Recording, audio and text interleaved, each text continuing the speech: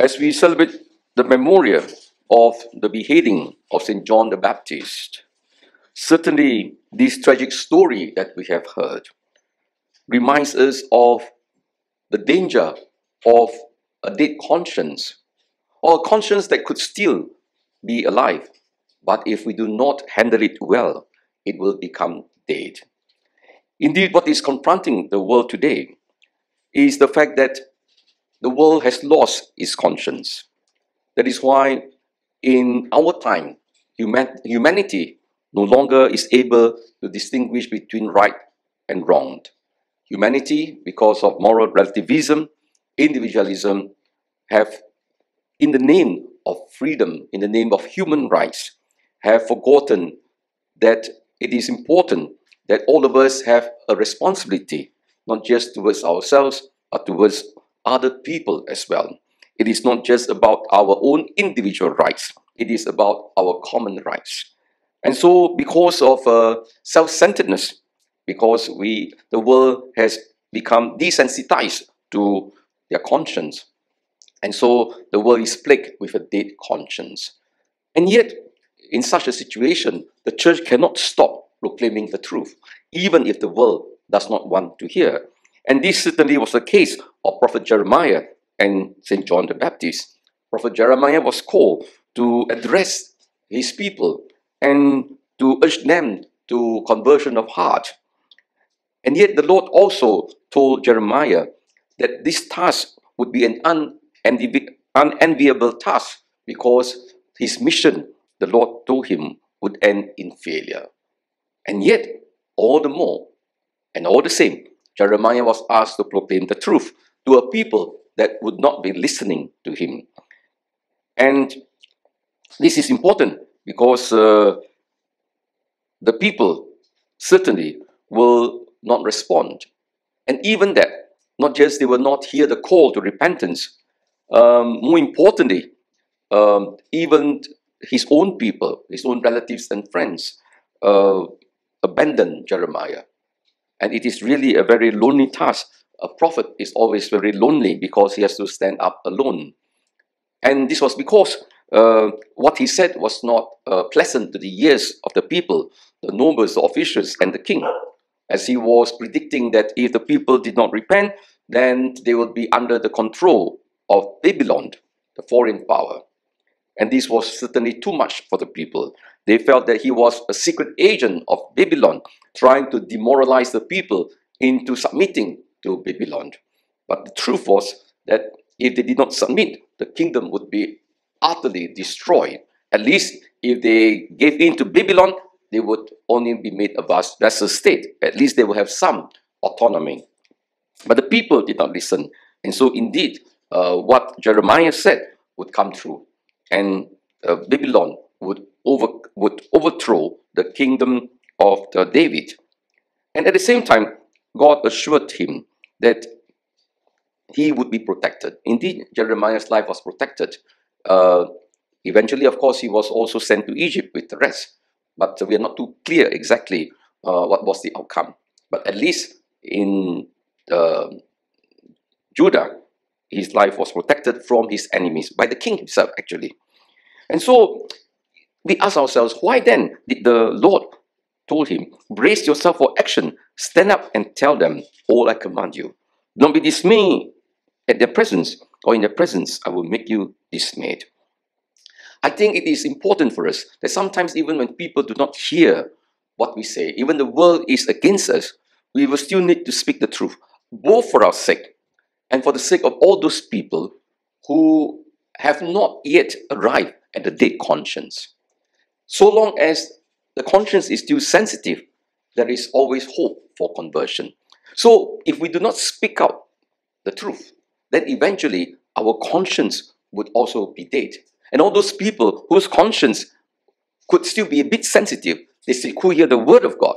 And unless we say the truth and speak the truth, these people would not be changed. Or at least have a hope to hear the word of God. That is why, in the case of John the Baptist, he too had to suffer the same fate. Of course, John the Baptist, he was like Jeremiah, a man who was fearless, a man who was true to himself. like Jeremiah, he lived an austere life. He lived in the desert. He was surviving on very uh, limited food, honey. John the Baptist, he was living a very um, honest life. He was true to himself. He was hearing the word of God. And he had no qualms about speaking the truth, calling out Herod and Herodias, being the leaders of the country, for committing adultery. He has no fear of men, he only feared God. And John the Baptist, we are told, he was ready to stand up for the truth, even at the expense of his own life. And of course, in today's story, we are told how he was eventually uh, beheaded because of his firm stand against injustice, against immorality. And this all happened uh, because uh, he was not afraid of Herod and Herodias. And so we are told in today's um, gospel, we, it's good for us to examine the three set of characters.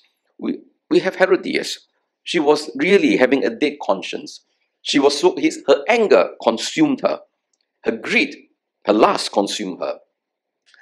And so she was not able to hear the word of God anymore. Actually, the story that is told by the evangelist this story is uh, parallel to the story of Queen Jezebel and King Ahab. We read in the book of Kings, where this queen was equally as evil as Herodias.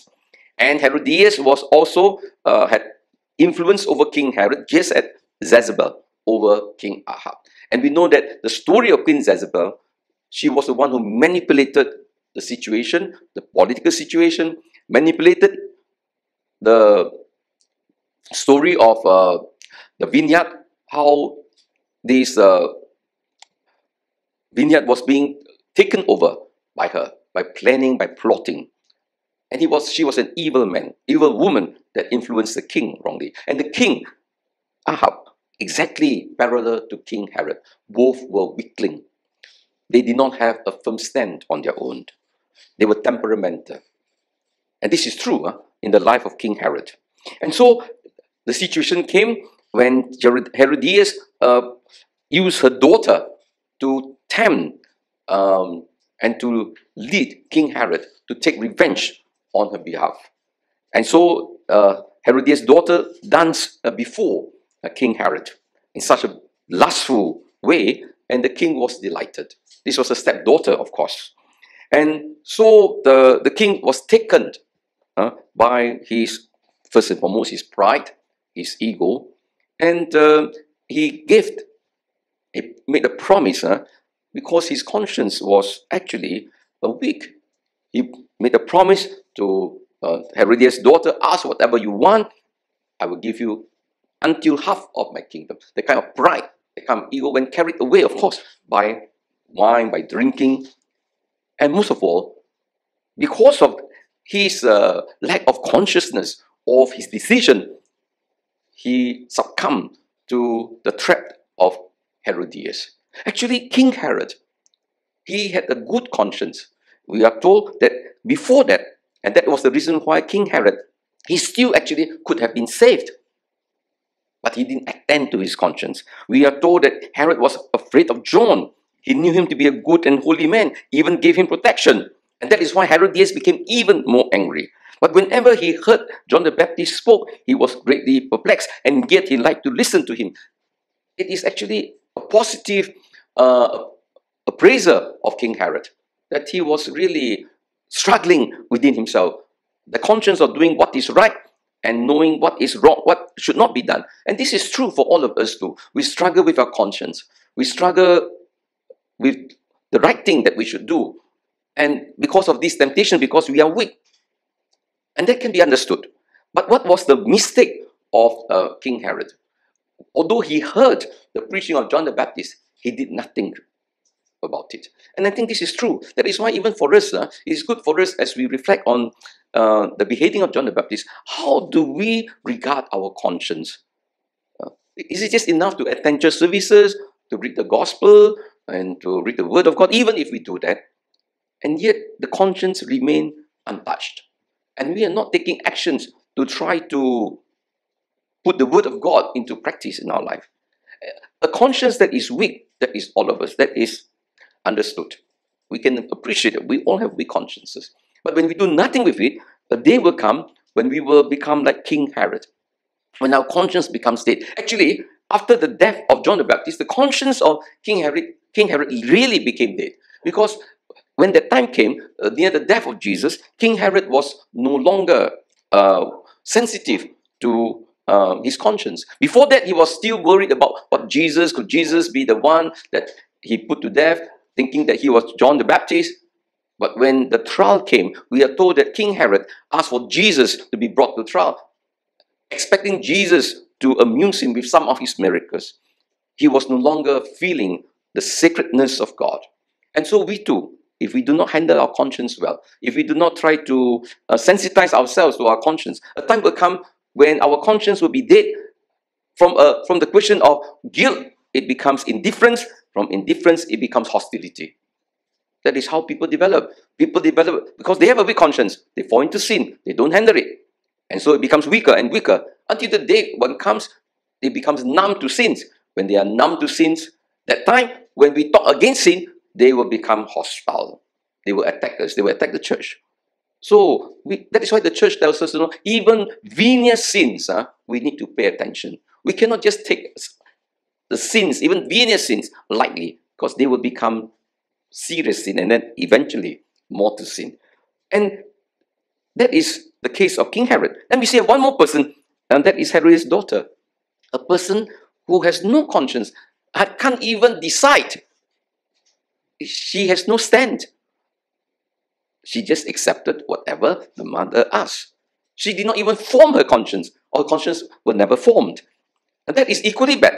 That a person like Herodias' daughter, who cannot take a stand on her own of what is right and what is good. And so, again, coming back to the question, the environment is also important. I suppose it was the environment that her daughter was brought up. So, the kind of environment that we create for our family, in society, and even among us will help us to either sensitize our conscience or desensitize. And that is why we have to be very careful uh, of the influence of the community. There are some of us who are weak. We can influence those, and those of us who are weak, if we are not careful, your bad examples will also influence those who are not so strong, not so weak. Because birds of a feather flocks together. You have a responsibility to ask yourself, are you an inspiration? Are you a good model to others? Or are you actually leading them away from God? Leading away from living the gospel life. So even among ourselves, we have a grave responsibility towards each other. Otherwise, we will become Herodias or King Herod or Herodias' daughter. And this is true. That is why even in our family, who we are today is very much influenced by the values of our parents and of our elders.